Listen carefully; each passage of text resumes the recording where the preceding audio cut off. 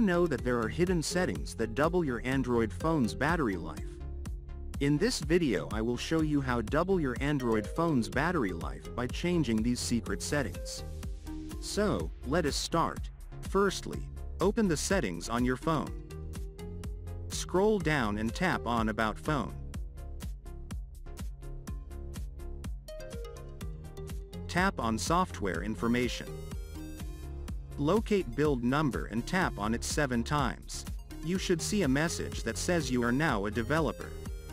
Developer options will now be enabled, which you can access by going back to your default settings page and navigating to the bottom of the list.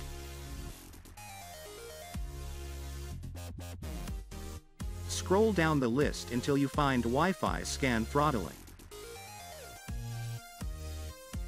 Turn on to reduce battery drain and improves network performance.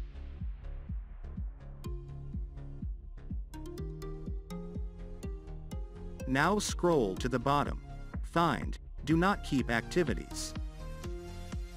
Enable it. This will close applications as soon as they are moved to the background. Now tap on Limit Background Processes. You can choose Limit from No Background Processes, one process at most, two process at most, three process at most and four process. Standard limit is 20 background processes. You should keep at least one or two background processes to save your battery life and also reduce heating problems. So, this is how to double your Android phone's battery life. Thanks for watching this video. And don't forget to hit the like button below the video and share it with your friends. If you want more videos like this, then tap on the subscribe button and join us.